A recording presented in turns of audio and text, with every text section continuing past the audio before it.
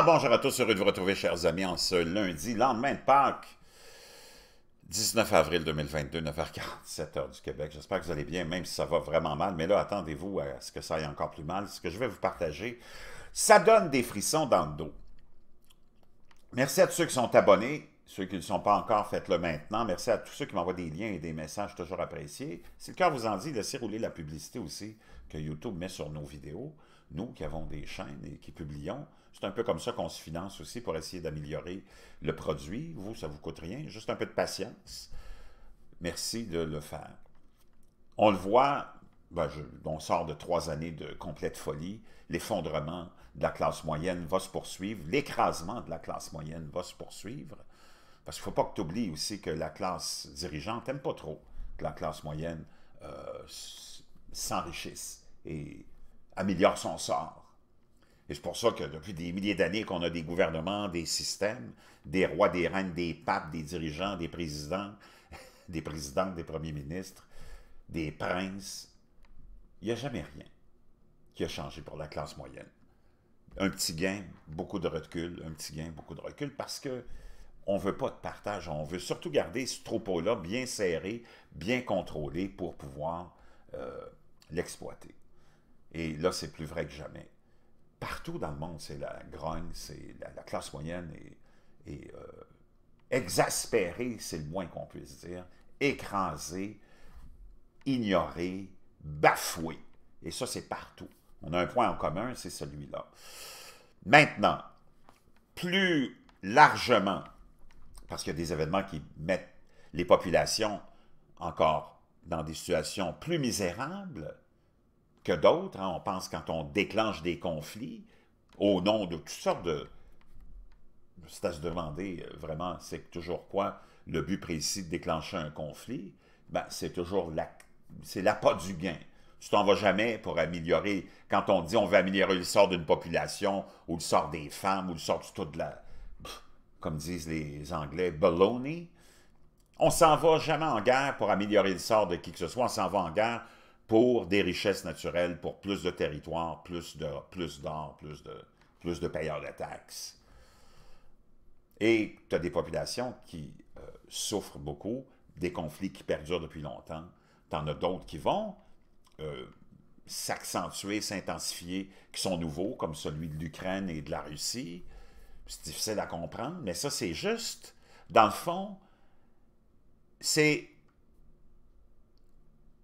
comment dire, le début de quelque chose de plus gros. Il ne faut pas oublier que oui, c'est l'Ukraine, disons, et la Russie, deux pays qui semblent, deux pays indépendants qui semblent s'affronter là, mais la plus grosse image, de big picture, c'est hein, l'étendue de ça, c'est beaucoup plus vaste. On sait que c'est pas juste ça, c'est une confrontation en ce moment mondiale qui se produit là et qui va s'étendre sur plusieurs territoires. C'est une confrontation qui était inévitable.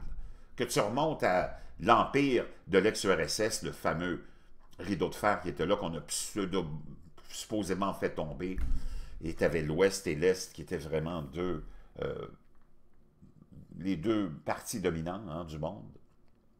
C'est resté ça, malgré euh, tout ce qu'on a essayé de faire pour emballer ça, avec la montée de la Chine qui est venue essayer de faire oublier tout ça. La Chine est devenue un autre problème aussi, mais c'est un problème plutôt politique et social et euh, économique aussi un peu, mais ça fait l'affaire de tout le monde, mais plutôt politique et social parce qu'on utilise la Chine et on, voit qu'on veut utiliser la Chine pour répandre cette espèce de projet social que la Chine a d'un citoyen parfait, d'un contrôle parfait, d'un totalitarisme capitaliste, n'est-ce pas? Donc, ça, c'est une autre affaire. Mais si on revient maintenant à la vraie confrontation qui a lieu en ce moment, puis on le voit, c'est en train de bouillir, puis on est plus que jamais au bord du gouffre et d'une troisième guerre mondiale avec un président américain qui n'a pas les capacités d'être président, qui est, confus comme on ne peut pas l'imaginer.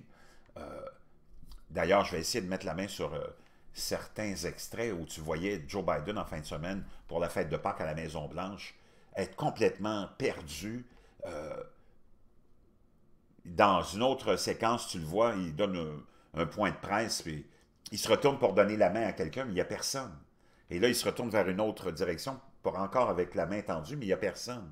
Complètement, euh, on pense vraiment qu'il est atteint de démence, Alzheimer. Et dans les séquences que je vais essayer de vous trouver euh, à Pâques, euh, à la Maison-Blanche, tu vois Jill, Biden, sa femme, lui dire de. À un moment donné, il, en train de réciter son discours avec le téléprompteur. Et il l'a terminé, et là, tu as la première dame qui salue la foule dans la cour de la Maison-Blanche, puis tu as Joe Biden qui est là immobile, puis elle lui dit « Salut la foule, salut la foule, tu. Salut le bon peuple, les innocents, les imbéciles, le troupeau de moutons. » Et c'est ce qu'il fait. Et à une autre euh, séquence, on voit la première dame lui dire, après encore une fois que Biden a eu dit ce qu'il avait à dire, lui dire Allez là, maintenant, assieds-toi, assieds-toi. C'est comme le pauvre gars, c'est, on le sait que ce n'est pas lui qui dirige, et c'est ça qui est inquiétant. C'est d'avoir quelqu'un qui n'est pas euh, en possession de tous ses moyens à la tête d'un pays comme celui des États-Unis, qui est la plus grande puissance économique, euh, politique et militaire. Qui est derrière? Ben, c'est le complexe militaro-industriel. C'est autant les républicains que les démocrates euh, de l'élite hein, qui eux, poussent toujours pour des conflits, poussent toujours pour plus de perturbations, poussent pour le complexe militaro-industriel, poussent toujours pour la guerre.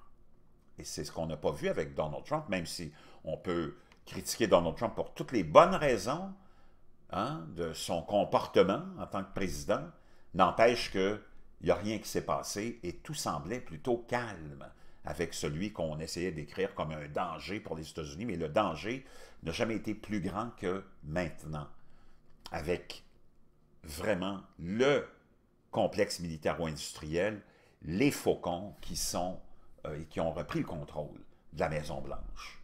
Et là, ce qui est inquiétant là-dedans, et on le voit sur le terrain, c'est vraiment c'est une question de temps avant que ça s'étende, puis là, il y a toutes sortes de, de choses que je viens de découvrir, comme la rétrogradation de Mercure. On le sait que les planètes, le système solaire, l'univers, tout est interrelié. Là, je sais que je rentre dans une autre euh, dimension, mais permettez-moi une petite parenthèse. Tout est interrelié. Tu n'as qu'à penser à la Lune, euh, qui contrôle presque tout sur Terre avec euh, le Soleil, mais la Lune, très important. Elle est là, au bon endroit, placée là, c'est unique dans le système solaire. C'est à se demander si c'est pas quelqu'un qui est allé, une autre civilisation, l'a placé là pour qu'il y ait vie sur Terre. Une influence euh, majeure sur nos comportements, mais l'ensemble des planètes aussi. Et là, on serait dans une rétrogradation de Mercure. Il y en aurait quatre cette année, mais une qui s'en vient pour le mois de mai. Et c'était une découverte pour moi. Et les gens euh, qui croient en ça fermement, euh, et c'est pas des hurluberlus, on va aller le voir. Il y a même le Wall Street Journal qui parle de ça ce matin. Tu as des gens qui qui font pas, euh, qui prennent pas de décision pendant ce moment-là parce que ça les inquiète. les fans d'astrologie ressentent l'effroi. Mercure est en rétrogradation encore une fois cette année. Et on a un expert en sinistre, Brian McInnes, nous raconte le Wall Street Journal. Le Wall Street Journal, quand même, qui prend la peine de s'arrêter ce matin là-dessus et qui cherche à déménager à Philadelphie, il habite à Baltimore, sa pression sur les délais n'est pas liée à un nouvel emploi ou à un bail. Le jeune homme de 28 ans veut mettre sa situation de vie en place avant que Mercure ne passe en rétrogradation, un phénomène astrologique de trois semaines que les croyants associent à toutes sortes d'événements, de, tragédies et euh, de malédictions. Ça va de des accords commerciaux manqués, ratés, des crevaisons, des ordinateurs en panne et plein d'autres choses. On nous raconte toutes sortes d'histoires personnelles de gens qui, sont, euh, qui ont vécu des malédictions, des malchances durant la rétrogradation. Et la prochaine devrait avoir lieu entre le 10 mai et le 2 juin. Il y a même une réceptionniste, Julia euh, Lam, euh, d'un hôtel en Californie, qui a déclaré qu'elle reporterait à contre la demande d'une promotion au travail jusqu'à après cette date. Donc, c'est fascinant. Il y a même l'almanach des fermiers euh, qui publie euh, un périodique et qui parle aussi de ça, euh, parce qu'on lui, fait beaucoup de demandes, j'imagine, pour les plantations, pour les semences, et ainsi de suite. Donc, un phénomène quand même qui n'est pas à prendre à la légère, dans un contexte mondial explosif, si je reviens à l'histoire avec l'Ukraine et euh, la Russie, on le voit que c'est un terrain euh, de jeu qui est là, c'est quelque chose qui est en train de se passer. On le voit, l'OTAN fait tout pour ne pas y aller, mais aide indirectement. On sait que c'est un conflit direct entre l'ex-URSS, qui est maintenant la Russie de Vladimir Poutine, et les pays occidentaux. Avec ça, tu as les pays non alignés qui sont probablement, qui gravitent autour de la Russie et qui sont plutôt d'accord avec euh, les, les, visions de la Russie. On veut plus de cet ordre mondial dirigé par les Américains, suivi par les Européens. On le voit, il y a beaucoup de discordes, je vous l'ai dit, il n'y a pas d'ordre mondial en ce moment, il y a un trou. Il y a des euh, discordes au niveau des pays européens, au niveau des visions, l'Allemagne, la France, les autres pays, les États-Unis, l'Iran, le Venezuela, dont on parle plus beaucoup, mais c'est toujours là, euh, la Russie naturellement, la Chine, Taïwan. Il y a plein de choses en ce moment qui sont en train de se jouer. Et soyez pas surpris avec un président américain qui est une marionnette, que ça se dégrade. Mais moi, je vous ramène maintenant dans une autre région du monde où tous ces mêmes acteurs-là se retrouvent euh, sur le terrain et ça va chauffer vraiment beaucoup en cette période pascale, euh, en ce temps euh, vraiment étrange dans lequel on se trouve, et c'est celui de, naturellement, la Palestine, le fameux trio Palestine, Israël, Iran, tout ça au moment où le Hamas est en train d'accentuer ses attaques. Il y a eu beaucoup d'attaques ces derniers temps. On est en plein ramadan aussi. Est-ce que c'est le temps pour Israël de commencer, nous rapporte le, Jérusalem Post, de construire un nouveau temple sur des terres qui sont quand même euh, euh, conflictuelles, hein, sur des terrains qui, qui amènent beaucoup de tensions. Et ça, c'est la question que se pose le Jerusalem Post. Est-ce que c'est le temps d'y aller avec ça? Euh, et on a même France 24 qui nous dit que des militants de Gaza se préparent ou préparent des tunnels alors que le prochain conflit est là en train de se profiler dans une ville-tunnel sous les sols sablonneux euh, du sud de Jérusalem. Hein. On est en train de construire des tunnels. Et je peux vous dire une chose, ça sent très, très, très, très mauvais dans ce coin-là. J'essaie de retrouver ma connexion Internet. Mais ça sent très mauvais. Et c'est pas... Tout ça, c'est pas au hasard que ça arrive. Vraiment pas au hasard. Donc, chers amis, euh, je vous dis une chose. Préparez-vous, ce conflit-là s'en va euh, dans une direction qui sera extrêmement euh, difficile pour tout le monde. Ça se transporte là-bas. Tu as les mêmes acteurs qui sont là. Euh, les passages souterrains ne laissent aucune trace en surface, nous dit-on. Hein. On se prépare à un prochain conflit avec Israël alors que les tensions menacent de s'aggraver. Imaginez-vous, ça c'est rien comparativement à cette nouvelle que je vous partage qui m'a euh, surpris.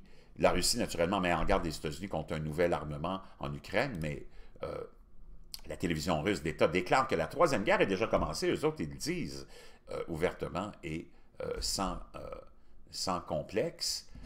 mais ce qui est important et que je voulais vous partager, c'est ça ici, qui est crucial. Et ça, ça va être probablement au cœur du déclenchement de ce qu'on attend comme probablement et comme nous dit la télévision d'État euh, russe, la Troisième Guerre mondiale. Poutine demande à la euh, Russie de prendre le contrôle de l'Église de Jérusalem, comme on lui avait promis. Le transfert de la propriété de la terre pourrait causer des problèmes diplomatiques à Israël, à un moment où ses alliés occidentaux sanctionnent la Russie pour son invasion en Ukraine. Donc, imagine-toi, ça, ça se passe en ce moment le président russe Vladimir Poutine a exigé, nous rapporte de Jerusalem Post, qu'Israël accorde à son pays le contrôle de la cour Alexandre à Jérusalem, comme l'avait promis le précédent gouvernement israélien, dans une lettre soumise ou remise dimanche au premier ministre Naftali Bennett. Wow, la lettre de Poutine est arrivée à peine un jour après que le ministère des Affaires étrangères à Moscou ait critiqué le ministre des Affaires étrangères hier, Lapide, pour avoir accusé la Russie de crimes de guerre en Ukraine, affirmant qu'Israël utilisait l'Ukraine pour dissimuler son, dissimuler son, propre conflit avec les Palestiniens. Le ministère russe des Affaires étrangères a également convoqué dimanche l'ambassadeur israélien Alexander Benzvi pour un blâme le transfert de la propriété des terres de l'Église pourrait causer des problèmes diplomatiques à Israël à un moment où ses alliés occidentaux ont sanctionné la Russie pour son invasion de l'Ukraine. La cour Alexandre, également connue sous le nom d'Église Alexandre Nevsky, et de la cathédrale de, la Sainte Trinité se trouve dans le quartier chrétien de la vieille ville de Jérusalem. L'ancien premier ministre Benjamin Netanyahu a promis à Poutine que la Russie pourrait reprendre le monument en 2020 dans le cadre d'une série de gestes destinés a aidé à libérer Naama euh, Issachar, une Israélienne détenue dans une prison, prison russe pour du trafic de drogue. Peu de temps après, le commissaire israélien a, euh, au registre foncier a inscrit le gouvernement russe comme propriétaire de l'Église. La Cour avait fait partie d'un différent les organisations de l'Église orthodoxe. Le juge du tribunal du district de Jérusalem, Mordecai Kaduri, a annulé le transfert de propriété au gouvernement russe en mars. Zzz, ouh là là. Le gouvernement israélien fait valoir que la Fédération de Russie est le successeur du gouvernement impérial russe qui a été enregistré en tant que propriétaire pendant la domination ottomane. La Société palestinienne orthodoxe de la Terre sainte, qui possédait le site jusqu'à ce qu'il soit accordé au gouvernement russe actuel, a intenté une action en justice arguant que le transfert de propriété était politique. Wow! Mes chers amis, préparez-vous au pire.